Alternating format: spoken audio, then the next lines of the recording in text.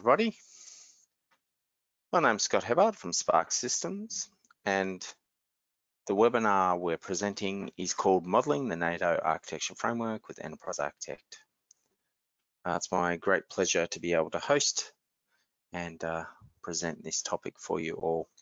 I'm joined by uh, Christian, Beat and Peter who will be doing the presenting and I'm really looking forward to their contribution. Uh, the brief agenda, we're going to uh, look at how to submit questions in GoTo. I'm then going to hand over to Christian that's going to start this uh, discussion presentation and uh, then we'll hear from uh, Beat and Peter and uh, we'll finish up with Q&A at the end of the session. please note um, all audio is muted for participants.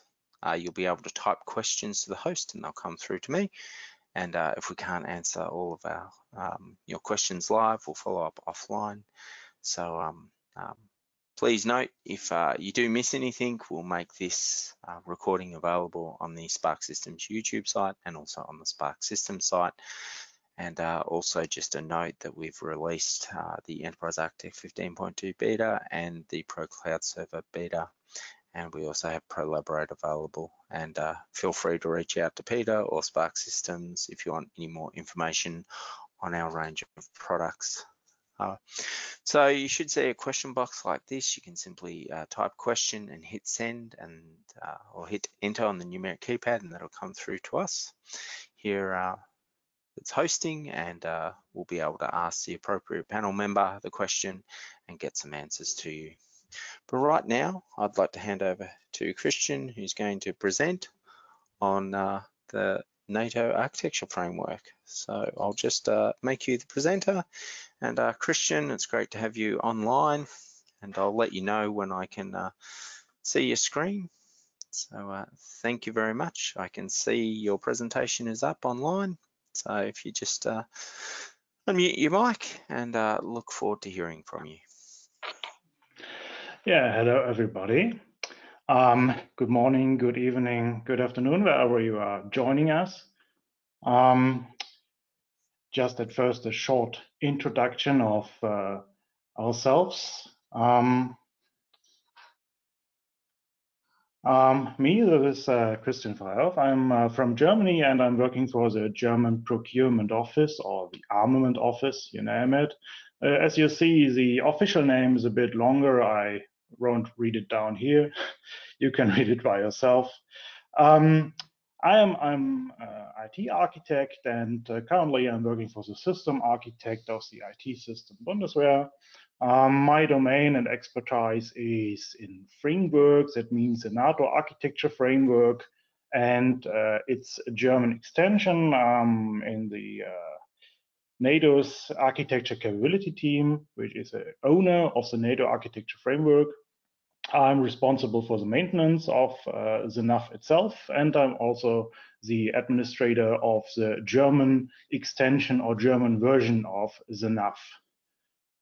Um, I'm also caring about architecture training in uh, NATO and in Germany, and I'm uh, concerned with uh, architecture toolings uh, as we are just here um, with Sparx Enterprise Architect, extensions to this, and analysis tools, and so on. And my colleague is Beat Lang. I think he will introduce himself now.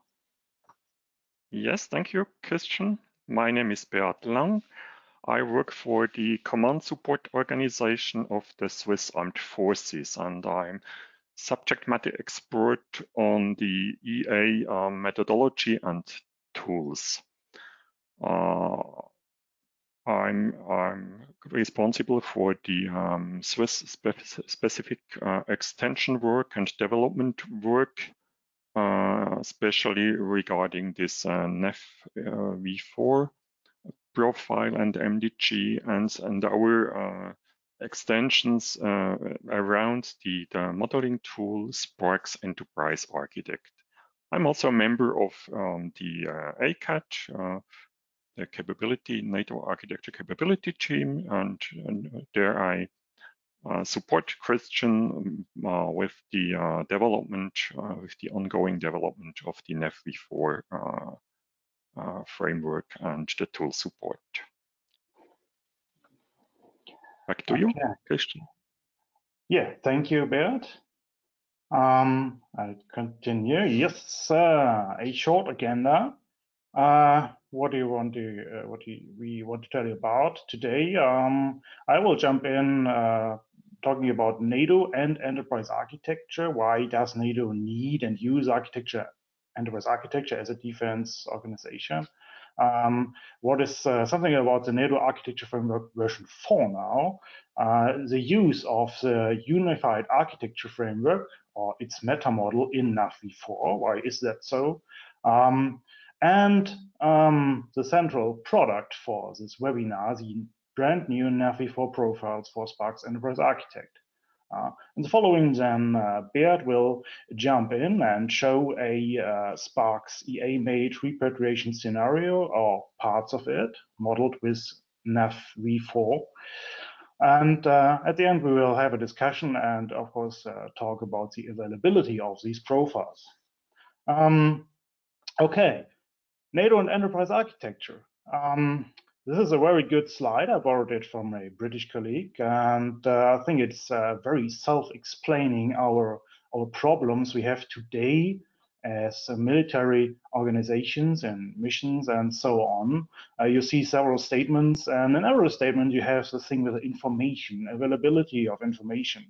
Um, and this is the thing. Uh, today, uh, our main problems are not some some rivals not shooting or helicopters not flying. Okay, sometimes in Germany still is a problem, but uh, usually our problem is the availability of information. Uh, information is the lifeblood of operations, of missions, and also of all our core processes, and that makes it necessary to somehow architect. and on the other hand, NATO is, in fact, a kind of an enterprise.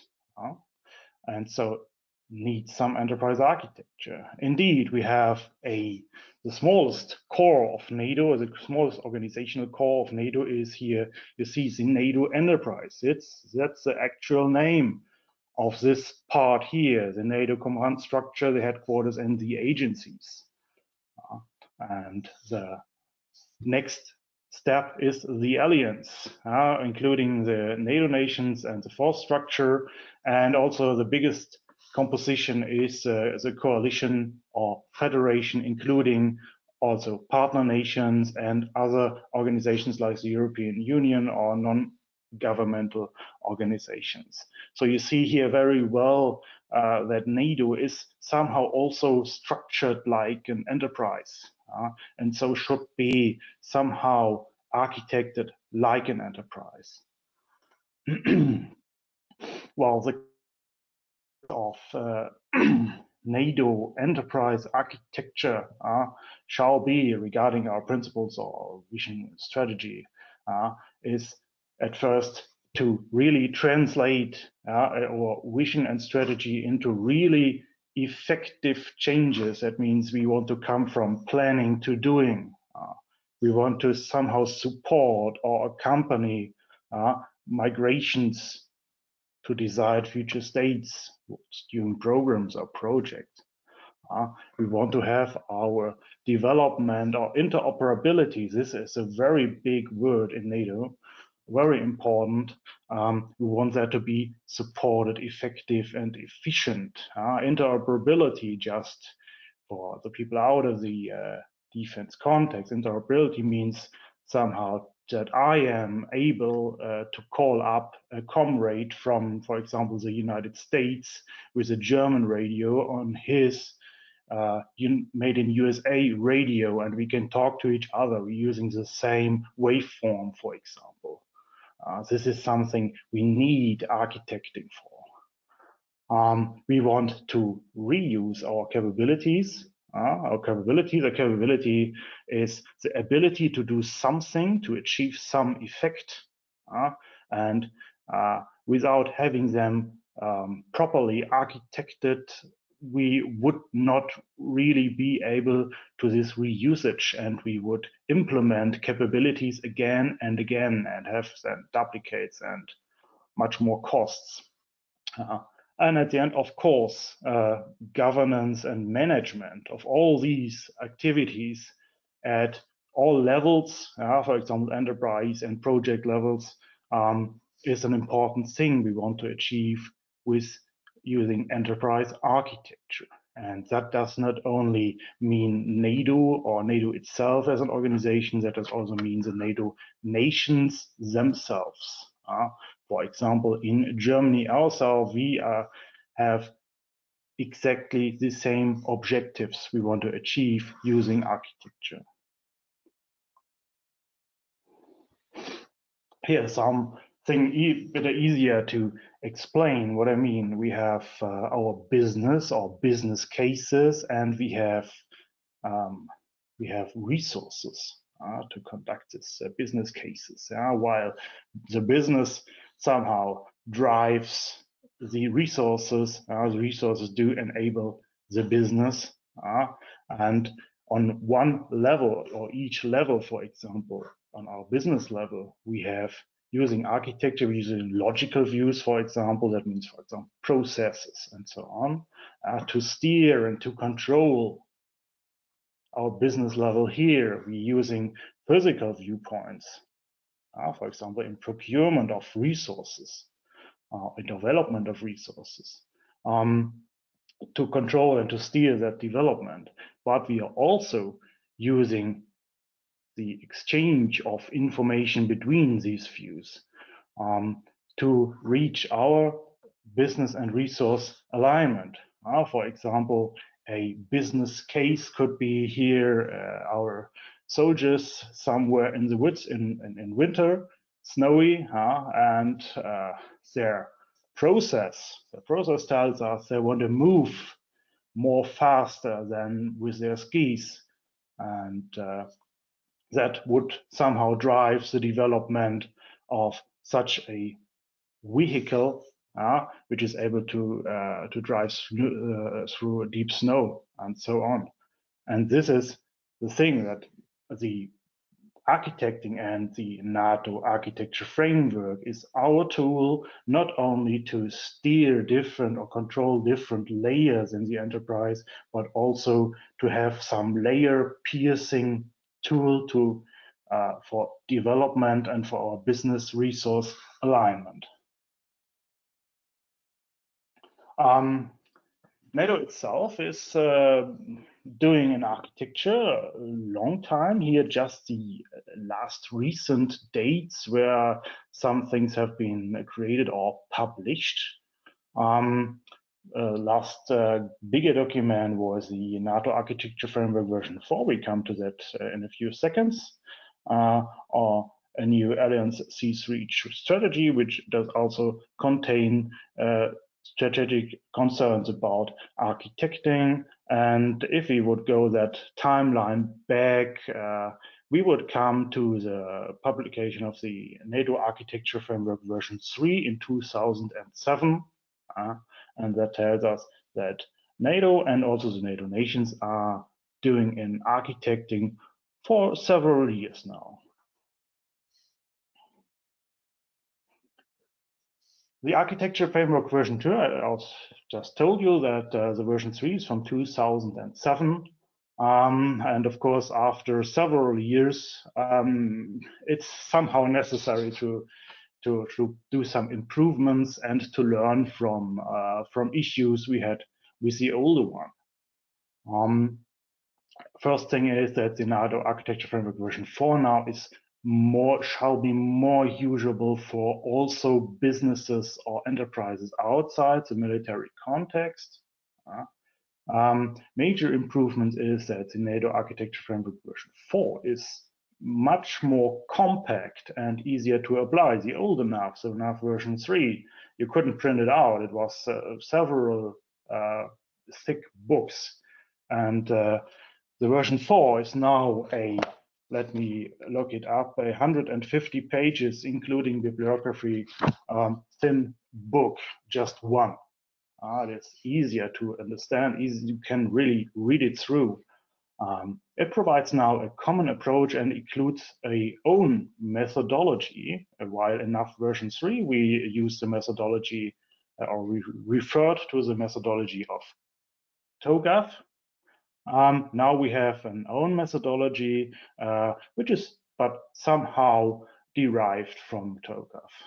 Uh, um, yeah, in the last year, there were many upcoming or new or meanwhile older standards. For example, triple uh, the IEEE standards uh, uh, 40, 42010, for example, 42020, and so on. And the new version has been aligned to all these standards, including the Open Group uh, standards and the OMG standards of architecting. Uh, and something also new is the adaptation of existing meta models. The NATO Architecture Framework version 3 had an own developed meta model based on UML and um, very powerful, very complex also, and hard to maintain. And now we decided to adapt existing ones. Here, this is what you see when we are talking about the NATO Architecture Framework version 4. This is somehow the core of the framework, the, the heart of it. Um, these grid layout of the viewpoints. Uh, I think most of you do know what a viewpoint or a view is. Uh, a, a, view is an actual um, that has does have actual content, and the, the, viewpoint is just the point where you're looking from. And um, we have uh, in the NAF we have now these grid layout. This is also new. This is not might not be new to the most of you because uh, I think many of you do know the uh, the Zachman framework from 1987 that already had such a grid um, layout, and um, and here is, is something uh, quite uh, interesting for you, maybe outside the um, defense context is that we have, for example, a line or a row, which talking about intensively talking about capabilities. Uh, capabilities is somehow in the military planning or the military capability planning is somehow the highest level. Um, viewpoints in NAFV4 are represented as subjects of concern and aspects of concern. Um, I think uh, you also know that as perspectives and aspects. This is, um, the meaning is somehow the same. Um, just telling you about a bit of the content of the NATO architecture framework document. Um, by the way, the document is uh, developed and maintained very agile. That means we have uh, two, one or two, or maybe also three new versions in one year. That means when some issue comes up, we are very quick uh, with resolving this issue and to adapt to new challenges and so on. Um, okay, I won't now will not take uh, talk uh, much about the introduction and the glossary. Um, the core is, uh, as I told you, these viewpoints. Uh, we are defining which uh, content is to um, depict or to capture in a diagram how. Uh, um, we have our methodology, uh, means in which step of the development of an architecture, an architecture model you are conducting which steps and uh, your actions. And um, of course, we are defining meta models. Uh, this is just in the framework, just a one pager because we are fully referring to other existing meta models. Yeah, the meta model. This is an interesting thing at NAF. I also told you that we have adapted existing ones. Um, to be more exactly, we have two for the NATO architecture framework.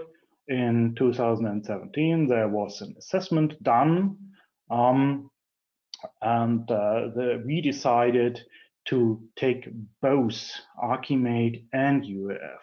Okay, the question is why? Well, the thing is that the NATO nations have different needs in architecting and uh, so different requirements to their to the used meta models. And uh, for example, the United Kingdom or the Netherlands um, have specific needs which are at best covered with, with Archimate. And uh, we in Germany and in France, for example, also Switzerland, um, we have needs that are only covered with UAF because UAF is uh, uh, it is somehow a bit more difficult. It is more complex, but it also provides us a higher expressiveness. And so that is the reason because that uh, NAFv4 now has two possible meta models. Um, we also do provide um, modeling guidelines for these meta model adaptations. Uh, as you can read uh, yourself uh, the, for the UAF domain meta model, uh, this is our scope today, um, are already published and the uh, Archimate ones will be will come up shortly. Um, of course, um, you may ask, okay, different different meta models, different models, different diagrams. Uh, how can you exchange that? Of course, we are also working on a exchange mechanism. Okay, that was the last, first and the last slide where Archimate was mentioned because our focus here is uh, UAF's Unified Architecture Framework from the OMG. Here you see the full UAF grid. They have also a grid. Uh, they have more than 60 viewpoints, more than 10 rows and 11 columns. Um, compared to the NAF v4, this is, as you see, a bit smaller. It has uh, 47 viewpoints, 5 rows and 9 and nine columns. That means, and we are lucky that we can map NAFv4 viewpoints to UAF viewpoints. I can think we can do that to a 99%, as you see here. You see uh, some uh, names of uh, or uh, numbers of NAFv4 viewpoints written in several columns, for example, resource types in UAF are the P1 enough, or when talking about processes and operational things, we come to logical activities in UAF, which is the same as the L4 in the NAF. and so that leads to that what we have done now. Um, we, well, just to repeat, um, we, this is uh, my office, uh, or me and my team and uh, office in Switzerland. Um, we have very good and strong and able uh, partners or contractors, such as this is, for example, BWI in Germany. This is the central IT provider of the Bundeswehr. And we have the RUAG in Switzerland, um, who supported us with personnel and uh, very, very high expertise. Uh, we had also some review and support by Sparx and of course OMG. Yeah. Um, maybe uh, you have the question why when just let me jump back when we can map NAFv4 viewpoints to uh, UAF viewpoints, why develop a specific profile for NAF and for Sparx? Um, well, the thing is, as I told you the expressiveness of UAF is significantly higher of as the one of the NAF. It is more, it offers more than we need.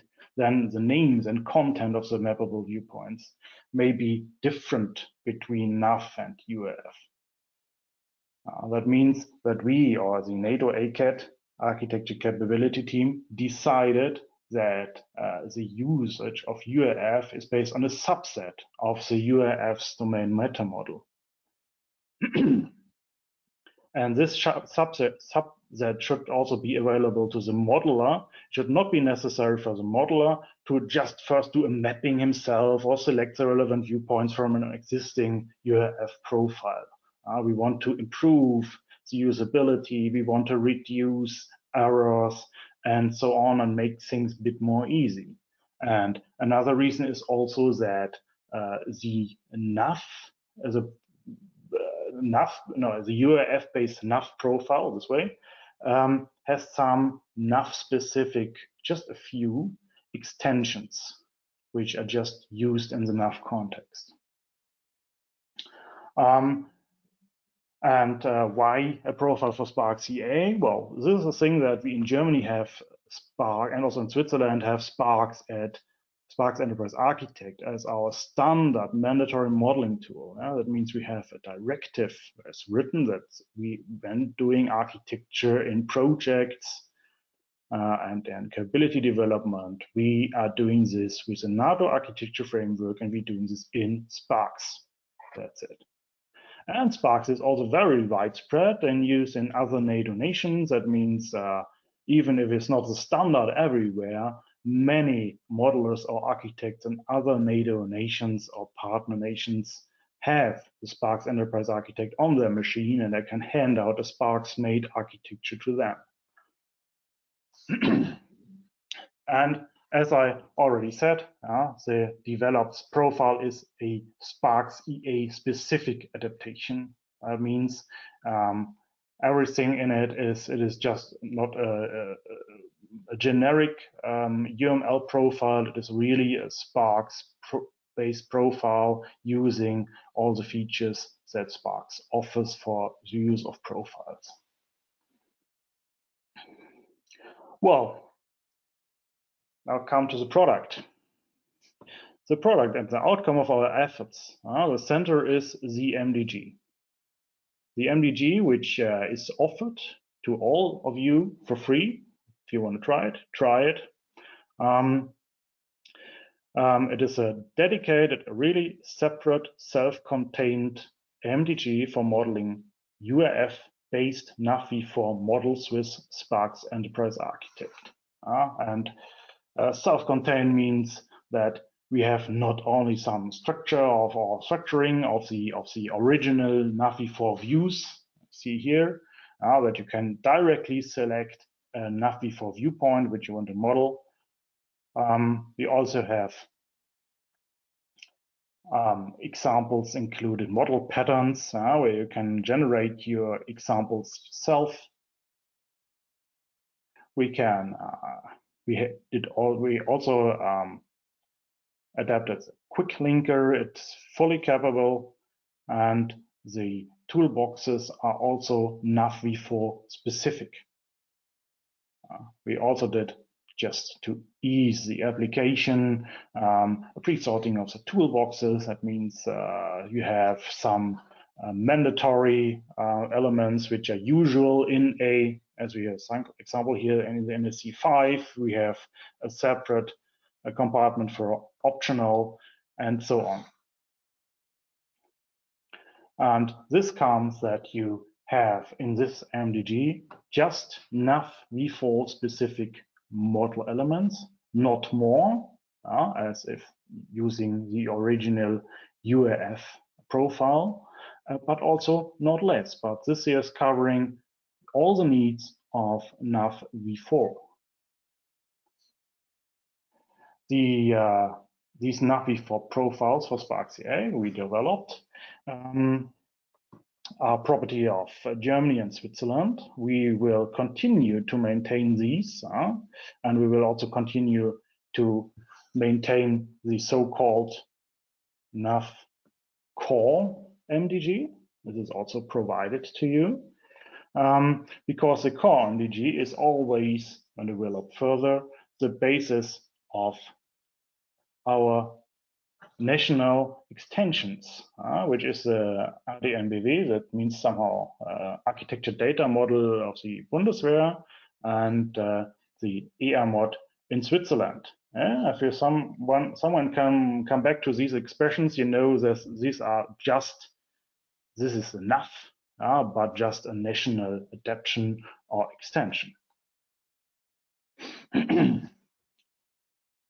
um, as I already said, um, the profile um, profiles uh, now finished the uh, NAFv4 core profile. That means this one here and the German version and the Swiss version is still in progress. Will be also finished quite soon, I think. And these profiles will be uh, provided to everybody free of charge. Uh, you are allowed to, to use it. Um, there's some small policy to accept, um, but nothing big. And um, of course, uh, if someone of you there in the Sparx community says, okay, such a framework, another action framework that sounds interesting, I want somehow to contribute, um, then I can tell you, you are very welcome.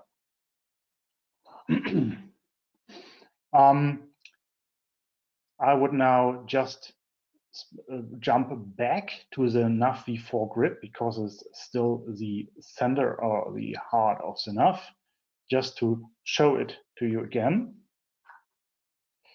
Bum, bum, bum.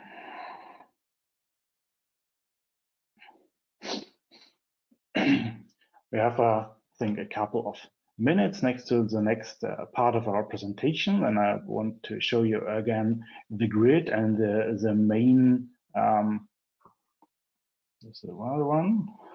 And uh, the main subjects we are working in the NAF. So this first set, the con concepts uh, and uh, services, IT services mainly.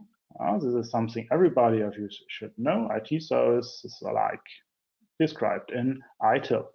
Uh, we have logical. This is just somehow the um, operational part of the business layer. That means we are talking about uh, activities, about processes and logical data models and so on.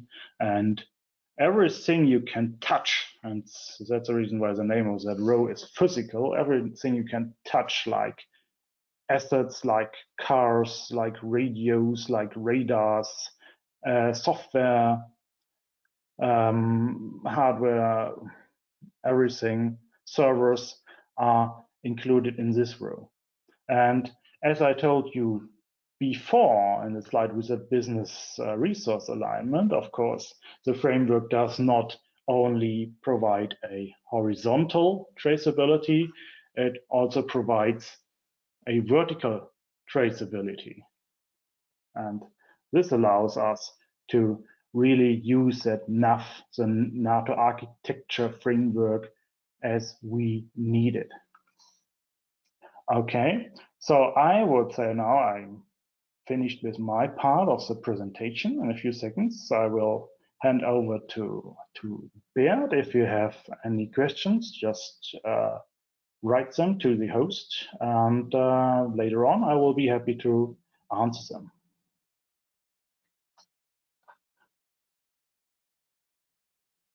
Okay, thank you very much, Christian. It was uh, great to hear from you.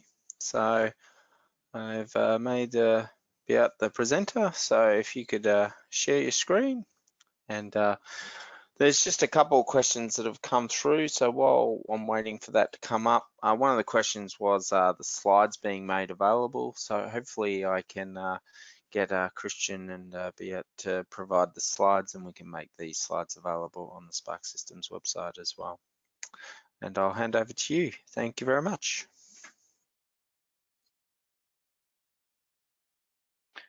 Thank you. This is Beat from Switzerland. I'm going to show you a, a scenario uh, which will uh, show a number of viewpoints in the NAFv4 grid. So The scenario is a civil scenario from Switzerland. Uh, we have uh, in Switzerland we have a Rega, which is the uh, leading civil operator for air ambulance and air rescue services. And um, this scenario was originally published in a in a customer journal uh, from Rega And they gave us uh, the kind permission to use uh, that scenario in our work as a, a demonstration example of for NAFv4. I kindly invite you to read quickly through this um, scenario description, the text at the left of the slide.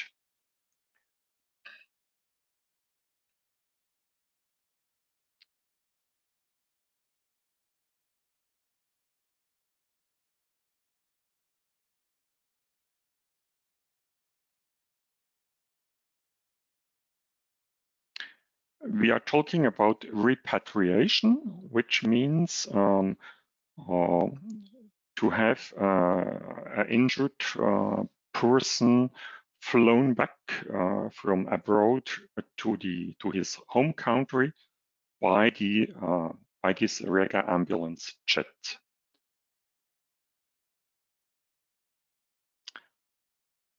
What you will see in the next few slides is a number of viewpoints illustrating this scenario. We have uh, we start with the logical viewpoints, the, the four viewpoints mentioned here. Uh, we will start with the L4, then go into the L1, L3, and the L7. And later on, we will see two service uh, viewpoints, namely the S1 and the S4.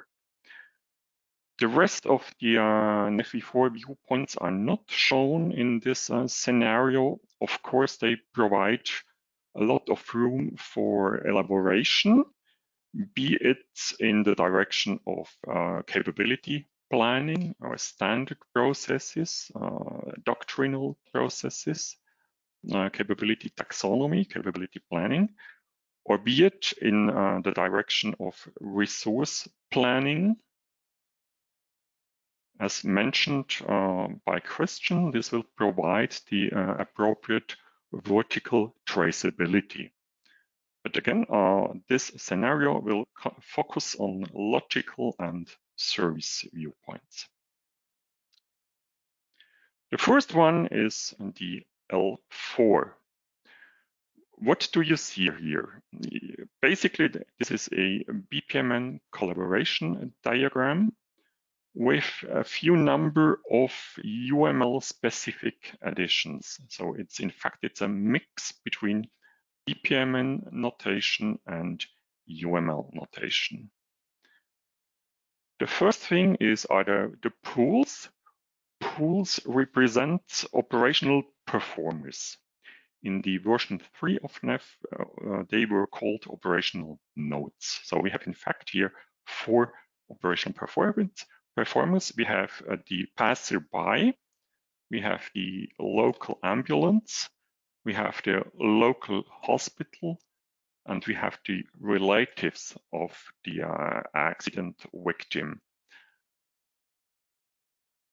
Within the uh, within a pool, we have of course triggering events like this, and then we have a flow or a sequence of uh, the appropriate operational activities, such as alerting the ambulance, first aid, uh, then uh, recover and store the uh, motorcycle, and, and at last but not least, deliver food to the patient while he stays uh, at the hospital. As you know, not all hospitals provide food to their patients.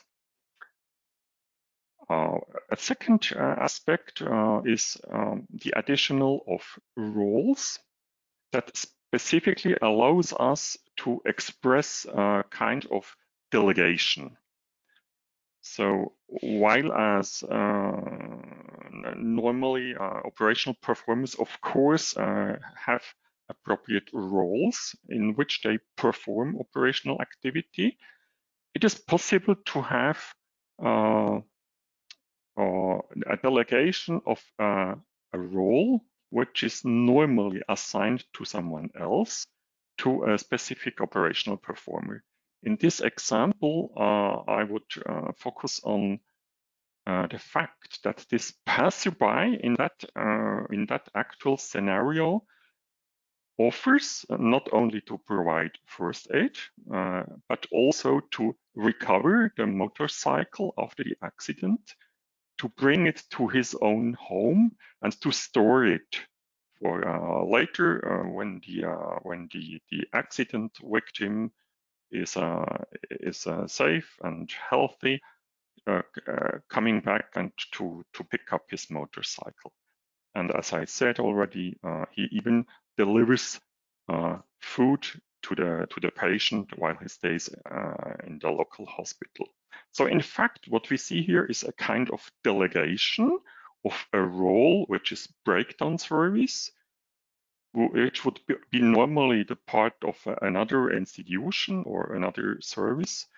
This is kind, kind of delegated to this passerby who uh, takes over this role and this responsibility. Of course, in that scenario, this happens on a deliberate basis, not on a, on a, on a in a commanded uh, way.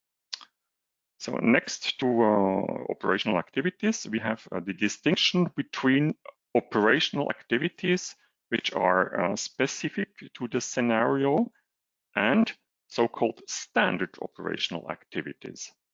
We uh, see standard operational activities as activities that are defined by, uh, uh, for instance, doctrine in operational context, and they do not need to be explained in greater detail here because they are documented and specified in another place in another document. Then the next uh, thing is um, message flows, as this one here. Here we use a, a little UML uh, aspect to document the, the information elements which are being carried by this message flow. As in that, in that case, it, it is the alert message, the alert of the ambulance. Here we have other types of uh, information elements. The same is here. Message flows in BPMN, as you know, the, uh, the, the preferred way of expressing inter-pool uh, interactions or cross-pool interactions. The next thing is, uh, is uh, the notion of a service or service specification. By the way, that has changed from NAFv3 to NAFv4. In NAFv3, we were talking about service. In NAFv4, we are now talking about service specification. So this is an example of a service which can be consumed by a specific operational activity. In that case, it's alerting Rega. And for that, they provide an app for Android and, and uh, Apple iOS. Uh, this is a customer app and uh, it's, it's free uh, and everyone can use it to alert uh, Rega in a, in a, in a case of uh, emergency uh, or to track uh, his position or to follow his uh, activities in the outdoor. So this is the L4.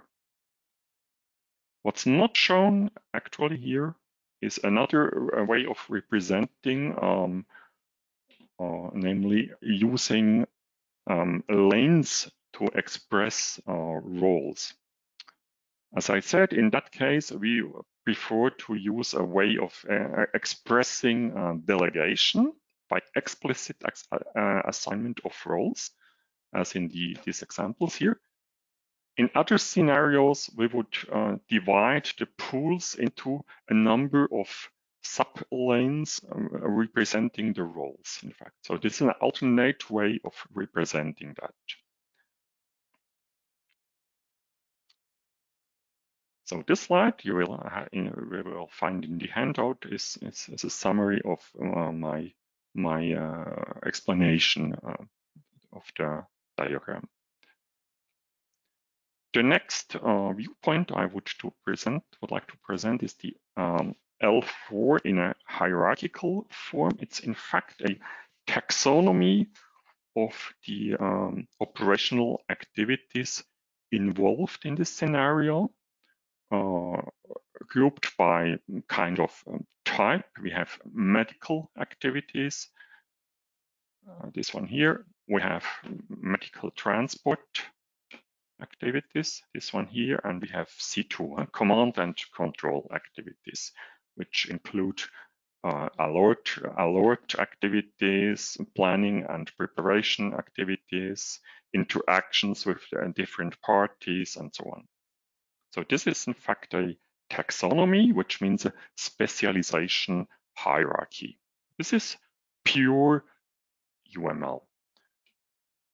Here again, you have the uh, distinction between uh, operational activities which are specific to the scenario and standard operational activities.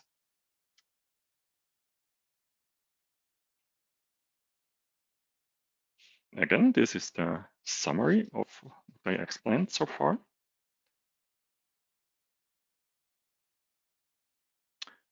Next slide is the L1. So it's uh, a taxonomy of the uh, operational performers, also called as uh, um, node types in the, in the NEF grid. This is again a specialization and taxonomy of, uh, of um, operational performers and their types. So we have uh, we have here, for instance, we have medical uh, facilities. Uh, we have involved parties, and we have in that uh, specific scenario, we have our um, air ambulance operator in, in, in, Switzerland. This is, as I said, it is the Rega. What we, um, what we also see are roles, assignment of roles to operational performers. So for instance, we have the hospital, we had which has a role medic, which has a role nurse. Uh, we have um, diagnostics, uh, in fact, uh, imaging diagnostic. We have laboratory. Uh, we have, uh, as another example, we have the flight crew, which uh, has carries the role commander, co-pilot. We have the flight nurse, and we have the the flight medic. So this is um, the L1 a taxonomy of the operational nodes or operational performers involved in the scenario. The explanation text. And the next viewpoint is the L3, which is called node interactions. This is again uh, pure UML notation. It shows you the uh, operational performers, such as the the passerby, the ambulance, the hospital, relatives uh, of the victim. We have Rega and we have uh, uh, the um, home uh, hospital in the home country.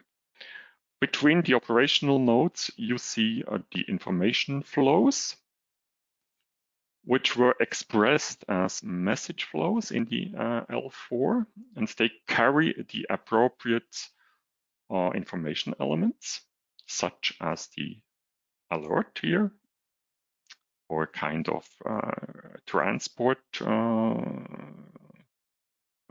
uh document, and a number of information product, products which which go with the medical treatment and the release of the patient and so on, the transport of the patient and so on. What they typically uh, try to do is uh, to generate that uh, viewpoint out from the model information uh, which uh, is behind the, the L4. So we, we try not to draw multiple uh, viewpoints showing the same information, but to to a model uh, the, the leading one, which in that case is the L4, and then to derive or generate other viewpoints uh, out of the, the model information in the repository. That's how we would tend to, to do it. So to avoid uh, repetition of uh, manual tasks, which are also error prone and time consuming.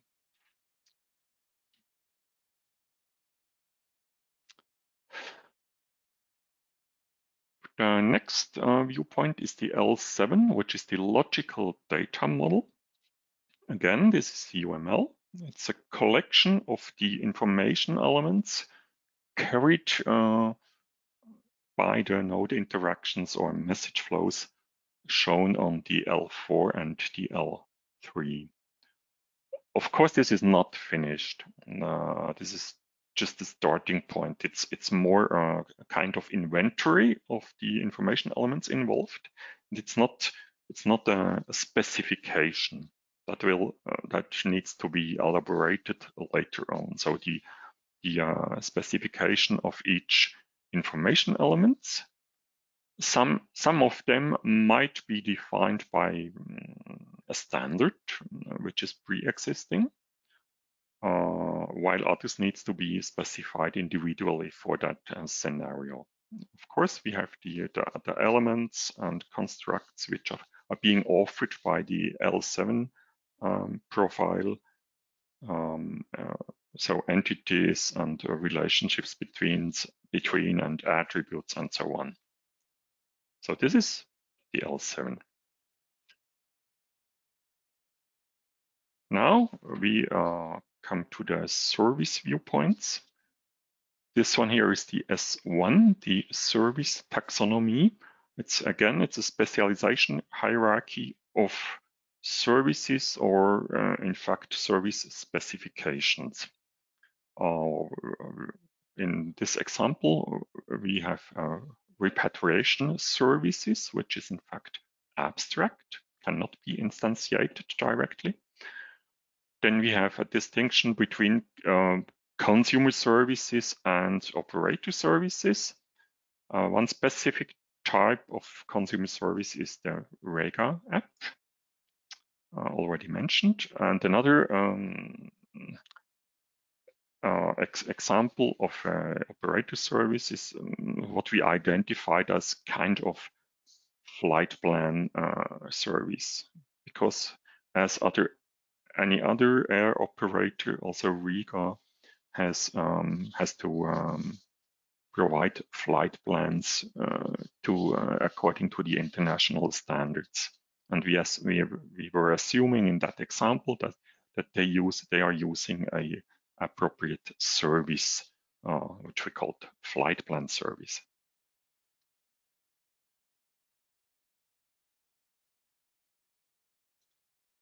Last but not least, uh, we have the uh, LS4, which shows you the service functions being offered by the uh, service specifications. So for instance, the uh, Rega app uh, according to its fact sheet, has provides four functions. So it provides the alert function. It provides the possibility to share uh, one's position with uh, with friends, with other uh, interested parties. Uh, for instance, while hiking or climbing, you can share your position. Uh, this provides your relatives to, to in a way monitor your activity and being uh, alerted when you do no longer move, for instance, um, and, and, and stay at a specific position uh, at the, uh, on, a, on a mountain, for instance. Then they might, um, might be informed that you might have a problem and of course, there is a testing uh, uh, feature in this uh, Rega app. The flight plan service we found in, uh, in, um, in some uh, documentation on the internet this that obviously there are um, uh, they provide it, it, provides functions to file navigational capabilities. It provides functions to file communication capabilities, and it provides function to file surveillance capabilities. So this is the S4 service functions. And that uh, concludes my presentation of a number of uh, NAFv4 viewpoints uh, using this uh, specific scenario. So Thanks, Beat. Uh, it was a very uh, comprehensive presentation and uh, it was really great to see um, so many questions come through. But right now, I'd just like to make uh, Peter Lieber the panelist. Just while Peter's getting ready, there are a couple of questions from a number of people saying, how can I get access to uh, the uh, NAF v4 MDG and uh, so hopefully you might be able to address that. And I think you have on screen right now. So over to you, Peter. Yes, thank you. Since two minutes it's available, so it was really uh, funny funny story. So it's since uh, two minutes available if you use that link www.sparxsystems.eu slash NAF version 4. And there you have a short registration screen because we want to know who is downloading it. Uh, and it is available right now. So you can, I have tried it uh, two minutes ago and it seems to work already. Um, if there is a challenge, please send over a short email that we can uh, finalize any um, issues on that. So this is available for free that you use the MDG technologies are currently the core and the German edition and hopefully soon also EA mod from the Switzerland uh, edition of NAF. So I hand over back to you, Scott, because that's the major story where to get. Um, I think this is um, a good finalization of this presentation.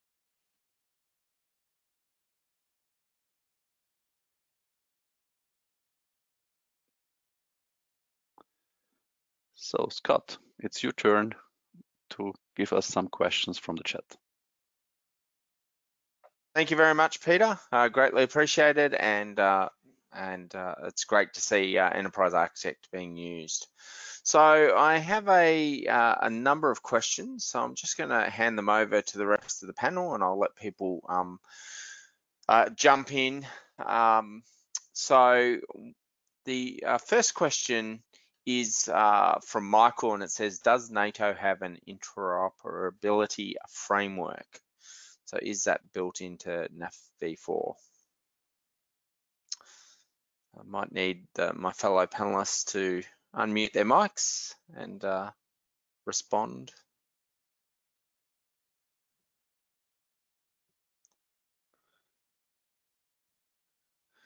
Okay. Christian, I think it would ah. be yours. Yeah. Just uh, looking for the for the button. Uh, well, the NAF itself as an architecture framework is just a tool to provide uh, these efforts for interoperability.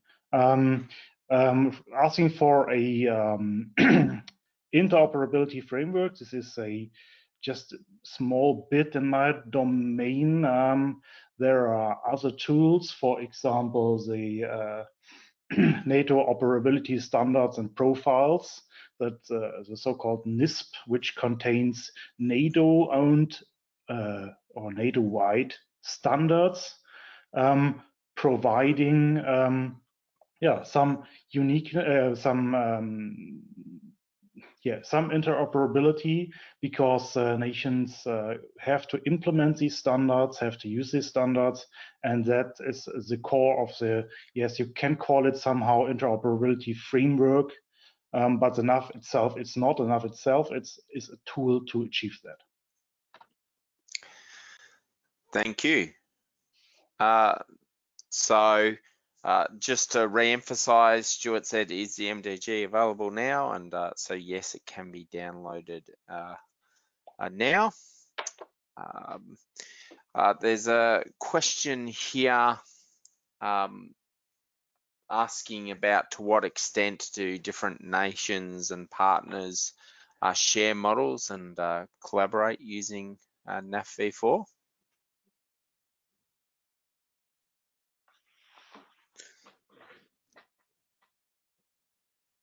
Could you could please repeat? I had a small lag uh, in yeah. the video. Uh, no problem. So it says, uh, to what extent do different nation states and private providers uh, share models um, based on NAF version 4, or is it all independent? Um, the different countries just uh, maintain their own versions and rarely share models? Yep.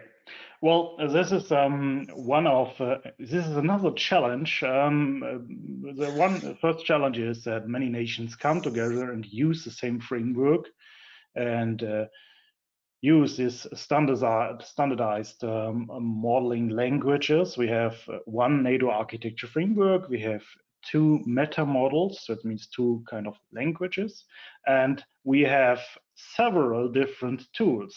Uh, and Sparx EA is only one of many tools. For example, uh, the French use, for example, tools like Mega and so on. and um, the thing is, it is it differs. It is different um, from nation to nation. Um, at the moment, there is not so much shared uh, architecture between nations regarding the national projects, but there is a lot of architecture work or common architecture work in um, in uh, NATO projects, like for example the Federated Mission Network, uh, um, where we are talking about uh, completely inter interoperable um, standards for exchanging information and missions. Uh, and on, on this level, of course, the uh, exchange of uh, architectures or architecture models is high. On the other side, um, of course, uh, national project architecture models are offered to other nations but this also depends on the classification of the models. Uh, many models can contain classified information. Uh, and so, okay, the short answer is it depends. and uh, yes, um, that's a, and of uh, course, a very from reasonable Sparx response. Yeah, yeah, and from a Sparx Systems uh, Central Europe point of view, or even Sparx Systems global point of view, is our motivation to multi motivate everybody to use Enterprise Architect, of course. And that makes it easy if you have an access to this MDG technology. It's a low-hanging fruit to start with NAF 4, version 4 modeling, and uh, it is a, was a huge effort from the Swiss and the German army to make it available in that way that they have provided. And it was also great cooperation between Australia and, uh, and Austria in this case and Europe to make uh, things happen that uh, have not been there before. And I'm really proud to support this project. Yes, and it's fantastic to see all of those models being modeled in Enterprise Architect. And uh, there's lots of questions about, you know, support for BPMN and, uh, you know, um, TOGAF and UAF, and it's fantastic that Enterprise Architect supports modeling in all of these different disciplines and allows these standards to be supported. And Sparx Systems has had a long history of supporting standards organizations all around the world and for helping out. Uh, so one example, Andreas has a question, how does NAF v4 meet the need of requirements management and requirements engineering?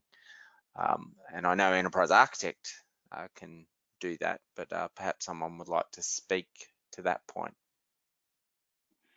Well, if it comes to requirements management, um, um, the one who uh, placed that question um, should uh, be quick with trying out the, the German extension because the German extension includes uh, requirement management viewpoints. Um, the thing is that in Germany or in the German military development or capability development projects, we are um, very, very um, requirement driven. The user gives us, the engineers, his requirements. And of course, his processes about the, the basic thing are the requirements. And the requirements do somehow accompany the project until its end. And so that was the reason for us and also the reason for the Swiss guys to implement a separate row in the framework uh, uh, to care about requirements. Very good. Thank you. Uh, there's a question from Don to uh, Beat about his example and says, in your example, um, does the repat service deal with customs and um, passport verification by government officers. And